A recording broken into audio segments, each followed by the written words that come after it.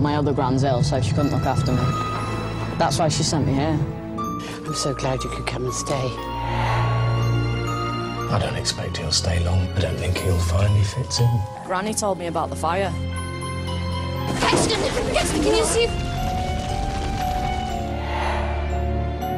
Don't go stuffing your head with all that superstitious nonsense. And what about the jewels? They're buried now. Whatever. Without my jewels, I'm a prisoner to the end of my days. It's the captain's Bible.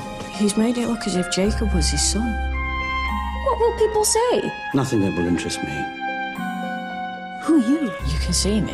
Of course I can see you. He's got an old soul, that boy. Yes, it's true. They died. As children. And the house is bound to share some secrets, but you mustn't be scared.